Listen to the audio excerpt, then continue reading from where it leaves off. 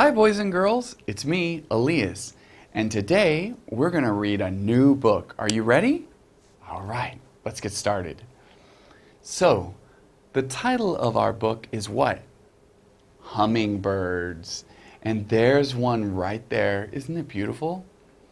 And this is written by Evelyn Davidson. Okay? So, let's look at it. Hummingbirds. Here, you can see a hummingbird right here. Look at its wings. Wow. So pretty. And what is it doing? Is it taking care of its babies? No. Is it making a nest? No. Is it eating?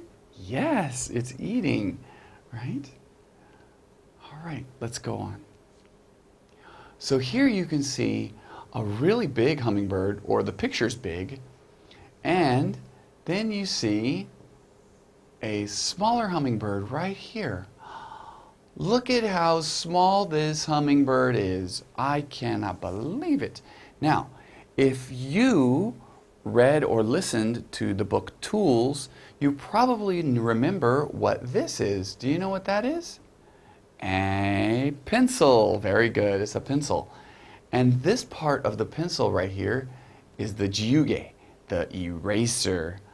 Look at how small that hummingbird is. It's sitting on top of the eraser. It's just like, like that big.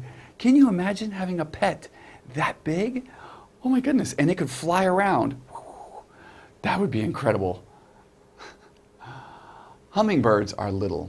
Everyone read with me? Hummingbirds are little. Some hummingbirds are the smallest birds in the world. Everyone read with me. Some hummingbirds are the smallest birds in the world. That's amazing. Now, look at this picture. Wow, there's a lot going on here. I see a lot of hummingbirds. How about we count them together, huh? So here's one, two, three, four, five, six, seven, eight, nine, and 10. Wow, there are 10 hummingbirds on this picture. In this picture, there are so many. So, what is this hummingbird doing? He's eating. That's right. How about these hummingbirds? What are they doing? They're also eating. And we're about to learn what this is called. All right? First, let's look at him. This hummingbird is using its beak, which is kind of like a mouth, but for a bird. Chickens have beaks, crows, kamagi, they have beaks, and all birds have beaks. He's using his beak to eat from a flower. That's right, you probably guessed that. A flower. Hummingbirds don't only eat Flowers, though, or actually the nectar inside flowers, they also eat other things, such as insects. This is an insect. It's a kind of bug. Bug. B U G. A bug is, is an insect. Then we have this. What is this, boys and girls? A spider. That's right. Gomi. Right.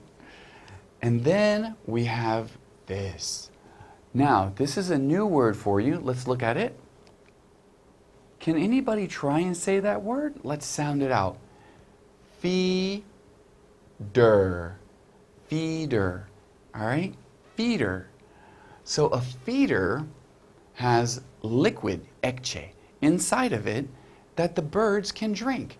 This liquid is like the liquid that's found inside flowers. It's very, very similar. Hummingbirds have long beaks. Read with me.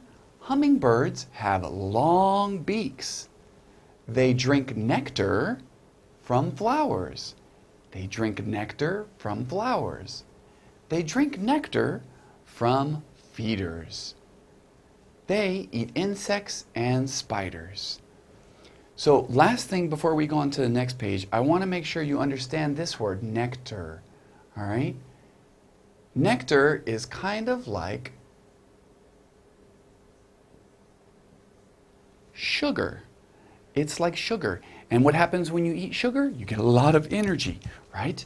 So hummingbirds need that energy, and they get it from nectar. In here, the feeder, and in the flower. Now, look at this picture. Here, you can see this. What's that? A helicopter. That's right. And then here, we have another hummingbird, a very, very big hummingbird. So, what can a helicopter do? Fly. It can fly. What do hummingbirds do? They fly. Hummingbirds fly fast. Everyone read with me. Hummingbirds fly fast. They can hover like a helicopter. Like that. Everyone read? They can hover like a helicopter. They can fly backward. They can fly backward. That's amazing. So, just like a helicopter, hummingbirds can fly this direction or they can fly this direction. I think they're the only birds that can go both backwards and forwards. That's amazing. Other birds have to turn around to go backwards, but not the hummingbird. They can fly backward. Pretty cool. Now, let's look at this. So, here we're going to talk about something that we talked about before. So, what is this? A spider and a spider web. Then we have this right here, which is kind of like fur, kind of like tor or yang, like yang tor, like uh, sheep fur. All right, it's called lichen. And this right here is what? This is a nest. What do birds do in nests? They lay eggs. So inside here are little hummingbird eggs. And this is probably the mommy hummingbird. Hummingbirds make little nests. Everyone read with me? Hummingbirds make little nests. They use lichen. Everyone? They use lichen. Some use spider webs too. Some use spider webs too.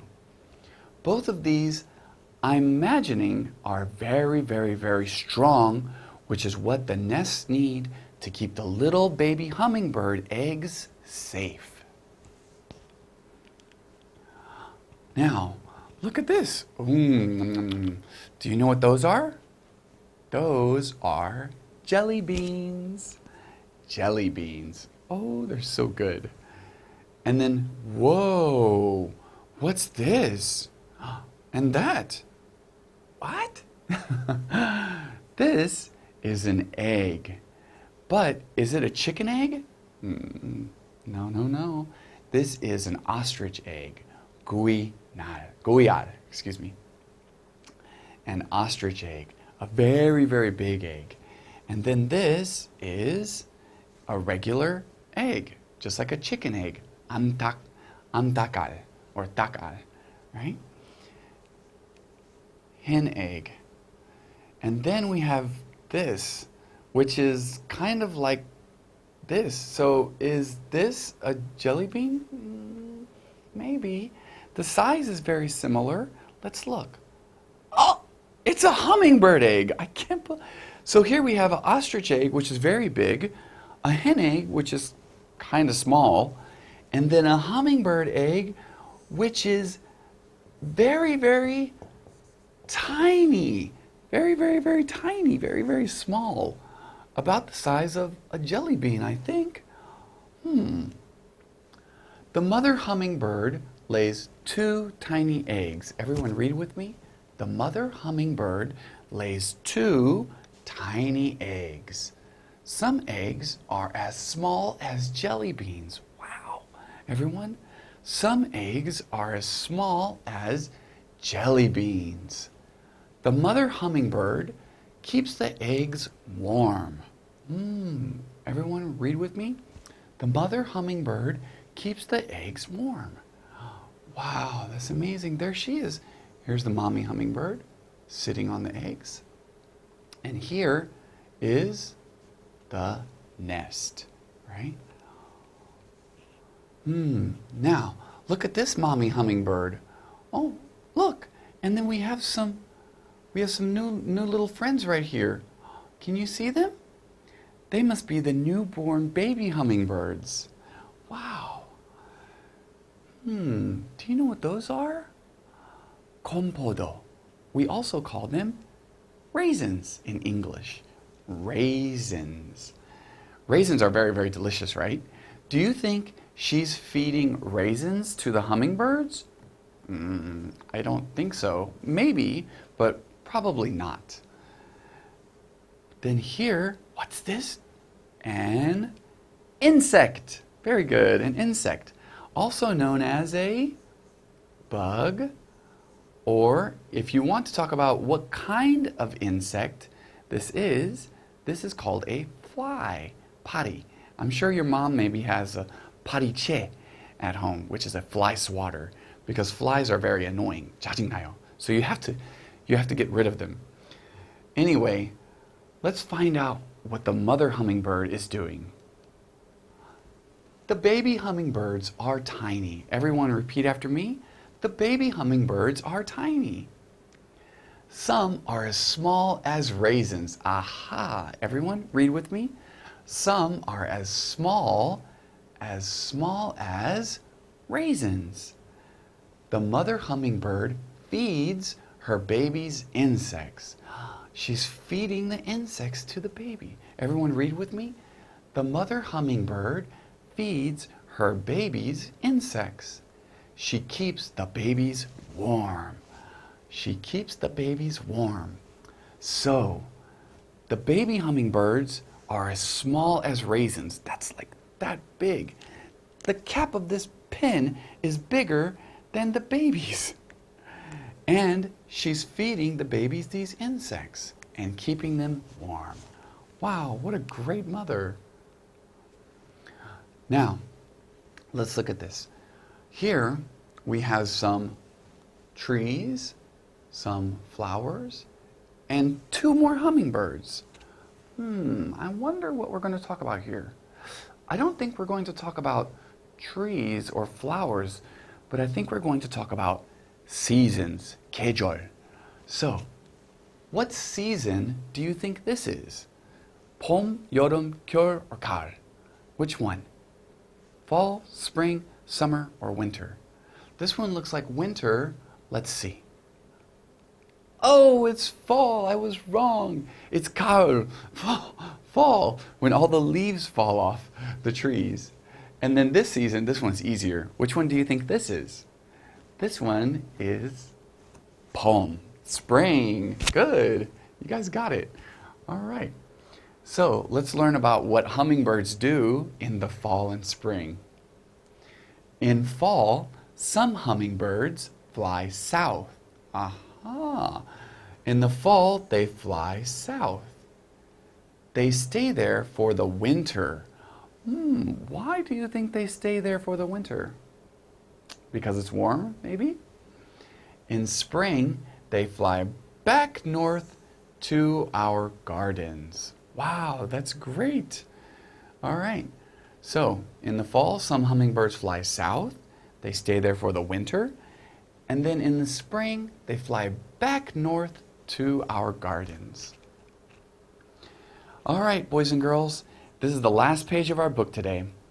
So, repeat with me babies, beaks, eggs, feeders, flowers, and nests. Great.